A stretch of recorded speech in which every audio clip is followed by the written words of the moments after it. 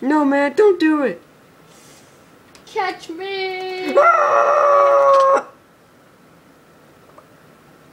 You didn't catch me. I'm sorry.